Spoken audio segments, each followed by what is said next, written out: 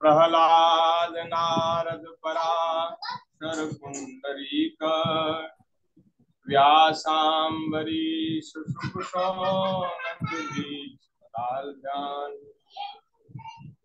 रुक्मांगदार्जुन वशिष्ठ विभीषणादीन पुण्यानिमान परम भागवता नमामि। नारायणं नमस्कृत्य नरं चैव नरोत्तमं।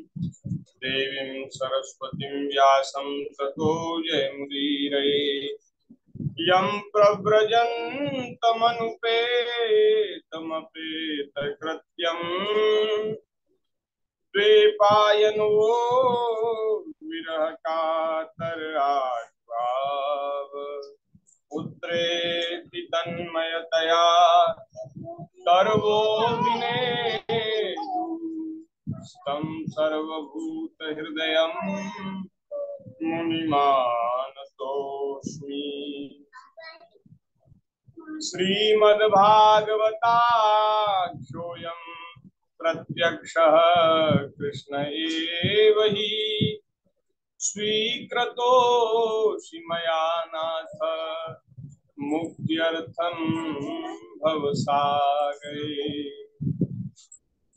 श्रीराम जय राम, जय जय राम। श्री राम जय राम, जय जय राम। श्री राम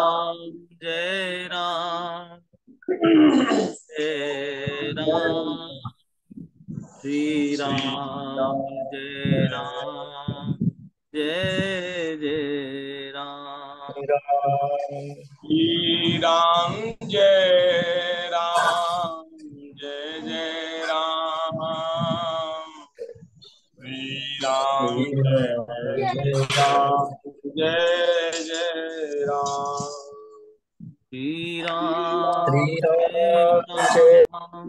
जय जय राम नीचे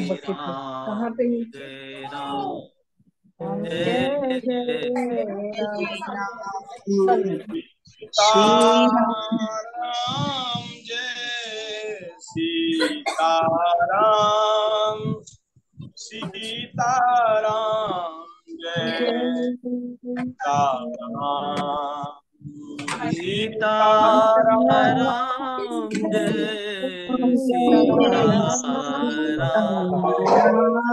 सीताराम जय। राधे श्याम। राधे श्याम राधे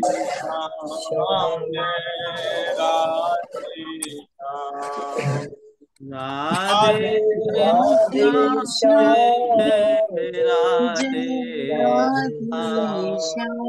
राधे राधे राधे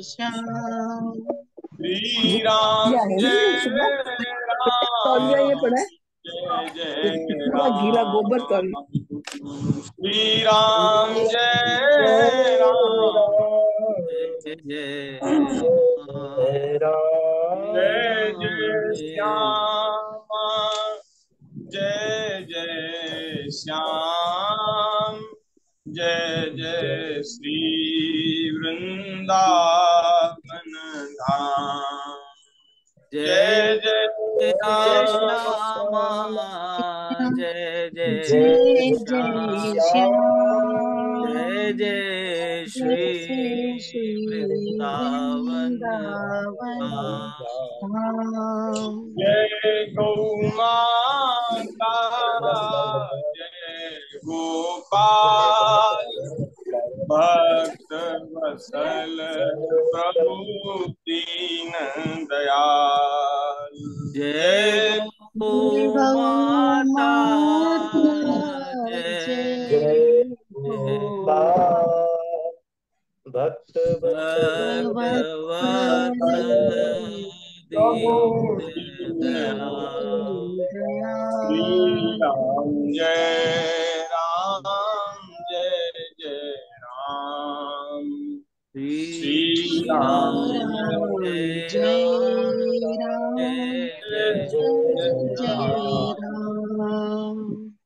जय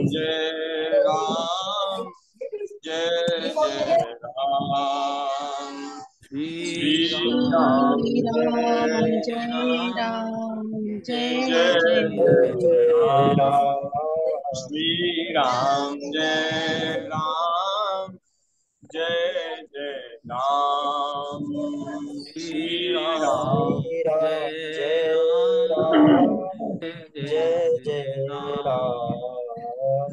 बोलिए श्री सीताराम चंद्र भगवान की जय। श्री वृंदावन बिहारी लाल की जय। जय। राधा वल्लभ लाल की जय। जय। श्रीमद् भागवत महापुराण की जय। देव जी महाराज की जय। परीक्षित जी महाराज की जय। भगवान श्री वेद व्यासी महाराज की जय। चौरासी कोस ब्रजमंडल धाम की जय। वृंदावन धाम की जय। यमुना रस रानी की जय। श्री गिरिराज महाराज की जय।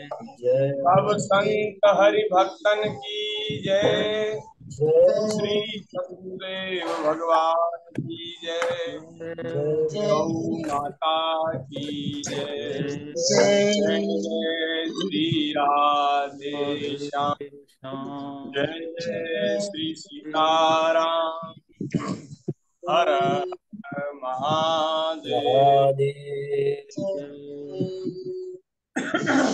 नारायण नारायण नारायण भक्त वांछा कल्पतरु भक्त वत्सल शरणागत वत्सल दीन बंधु दया सिंधु असंख्येय कल्याण गुणगण निलय, अकारण करुणा वरुणालय।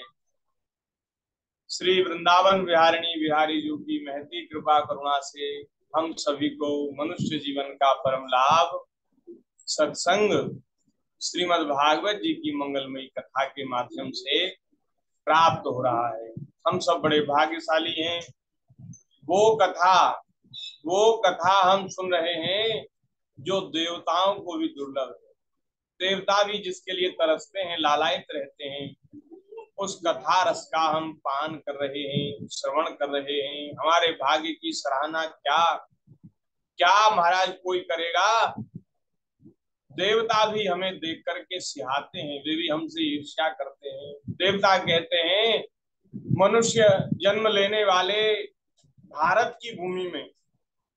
भारत की भूमि में मनुष्य जन्म लेने वाले लोग धन्य हैं, जिन्होंने भगवान की सेवा के योग्य शरीर धारण किया और अब ये भगवान की कथा सुनते हैं, सत्संग करते हैं। देवता हम लोगों की सराहना करते हैं। ऐसा महाराज सुंदर सौभाग्य हम सबको प्राप्त है।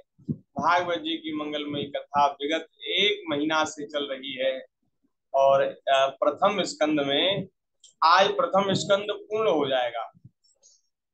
प्रथम स्कंद में 19 अध्याय हैं और आज 19वें अध्याय की ही चर्चा करनी है। परीक्षित जी का अनशन व्रत और सुखदेव जी का आगमन। आज की कथा का विषय है, परीक्षित जी अनशन व्रत के लिए अपने राजमहल से निकल गए हैं। और उन्हें सुखदेव जी का दर्शन सत्संग प्राप्त हुआ है। और सुखदेव जी ने जो कथा सुनाना शुरू की है महाराज, क्या कहें? बड़ी अद्भुत कथा।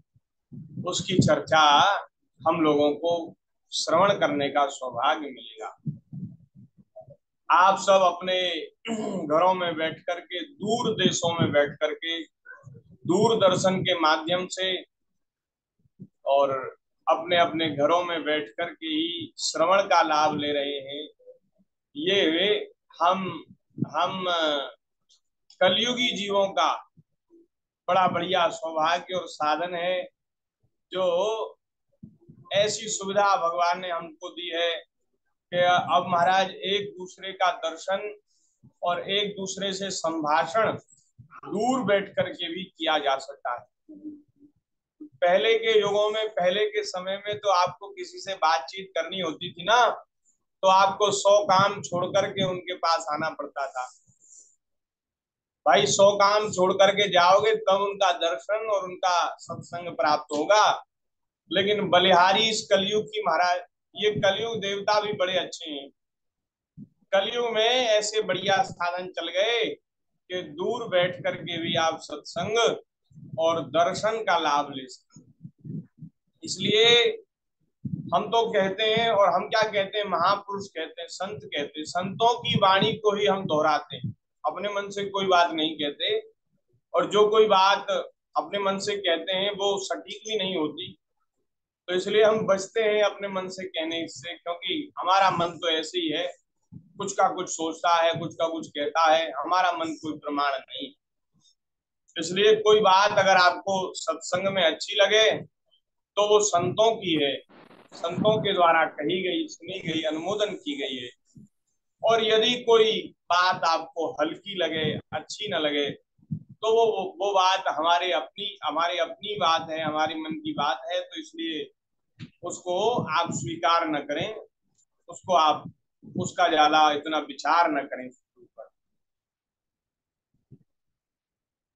तो संतों की बात ये है, संत कहते हैं, कलयुग भजन के लिए बड़ा अच्छा है। कलयुग में वैसे बड़े भारी दोष हैं, लेकिन जो भजन करना चाहते हैं ना, उनके लिए सहायक है। ऐसा महाराज भक्तमाल में प्रसंग आता है, हमारे आचार्य चरण भगवान श्री रामानंदाचार्य जी, उनकी शरण में कलयुग आया और कलयुग ने महाराज इनके चरणों में पढ़कर के महाराज निवेदन किया कि आचार्य चरण, जिस प्रकार से आप भक्ति का प्रचार कर रहे हैं ना, महाराज ऐसा समय आ जाएगा कि सब लोग भगवान की भक्ति में लग जाएँगे। फिर महाराज मेरा क्या प्रभाव रह जाएगा? सब लोग मेरे प्रभाव से अछूते रह जाएँगे। मैं फिर अपनी ताकत किसके ऊपर दिखाऊँगा? किसके ऊपर आजमाऊँगा अपनी ताकत?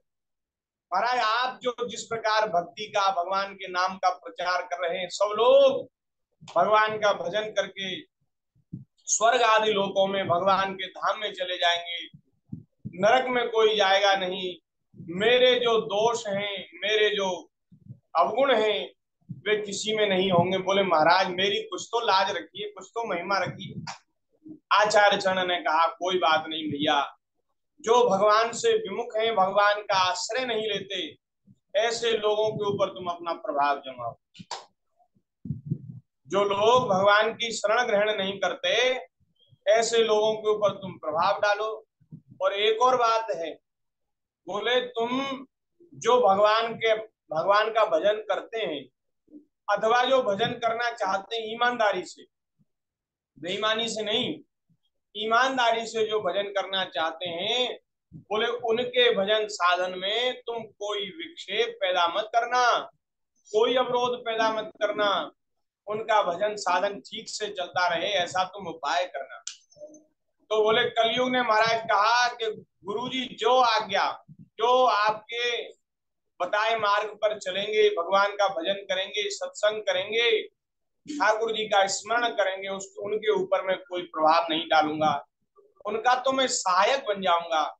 और ऐसा वर्णन है महाराज, कलयुग ने आचार्य चरण की शरण में पढ़ करके दीक्षा के लिए विनती की, बोले, महाराज, मैं हूँ तो बहुत बुरा, लेकिन मेरा भी कल्याण हो जाए, इसलिए आप मुझे दीक्षा दीजिए, राम मंत्र का उपदेश कीजिए।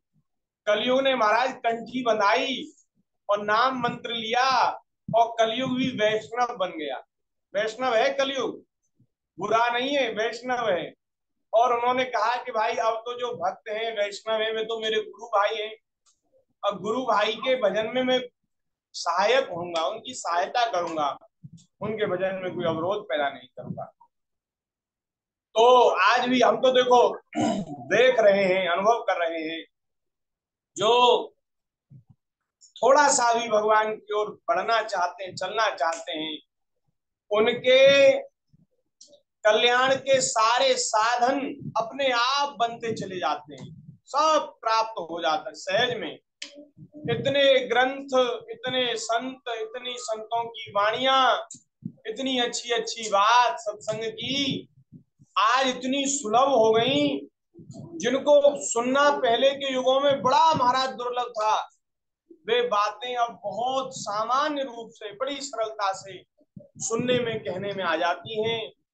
लेकिन महाराज, लोग उनका लाभ नहीं उठा पाते। माया के प्रभाव के कारण और भगवान के भक्ति से, भजन से लोग वंचित रह जाते नहीं तो बड़ा बढ़िया युग है। देखो कैसा सुंदर युग है कि आप भक्तों के यहीं बैठ करके, हम तो ब्रज में बैठे हैं यमुना जी के तट पर, और आप सब लोगों के दर्शन हमें यहीं से हो रहे हैं। और कुछ भगवान की चर्चा करके हमें अपनी वाणी का, पवित्र वाणी को पवित्र करने का अवसर मिल रहा है। आप भागवत जी की मंगलमयी कथा सुन करके अपने श्रवणों को, कानों को पवित्र कर रहे हैं और हम सब लोग मिलकर के अपने समय को सार्थक कर रहे हैं। समय की सार्थकता सत्संग में ही है। धन्य घड़ी सोई जब सत्संगा गोस्वामी जी ने कहा कि वही घड़ी, वही क्षण धन्यवाद के योग्य है, वही सार्थक है, वही समय जब सत्संग किया जाए। नहीं तो बिना सत्संग के भजन के जो समय बीत गया, वो तो व्यर्थ ही हो गया। वो किस काम का? उसका कोई मतलब नहीं। वो वाणी धन्यवाद के योग्य है, वो वाणी सार्थक है, जो वाणी भगवान के गुणों का गान करती है। वे कान धन्यवाद के योग्य हैं, सार्थक है, जो भगवान के गुणों का श्रवण करते हैं। इसलिए पहली भक्ति है श्रवण। और दूसरी भक्ति है कीर्तन। पहले भगवान की कथा सुनो और सुन करके सुनते ही मत रह जाओ, फिर भगवान की कथा कहो। हाँ। ऐसा श्रवण हम सबको करना चाहिए कि हम दूसरे को सुना सकें। प्राय आजकल के श्रोता ऐसे हैं, सुनते तो हैं, लेकिन इतनी गंभीरता से, इतनी सावधानी से नहीं सुनते कि फिर दोबारा उसको सुना सकें। सुने हुए विषय को दोबारा किसी अधिकारी श्रोता को सुना सकें, ऐसा हमारा सुनने का अभ्यास नहीं है।